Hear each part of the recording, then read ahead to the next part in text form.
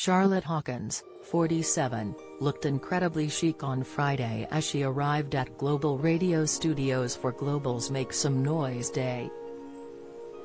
The Good Morning Britain star stepped out in London wearing a matching shirt and trousers set in a bright multicolour print.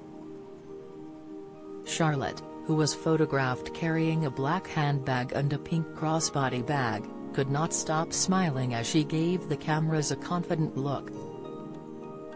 She completed the bold look with some multicolored stilettos as she added a more formal touch with her hair styled in waves. Charlotte showed off her natural beauty and flawless skin complexion by seemingly going makeup-free,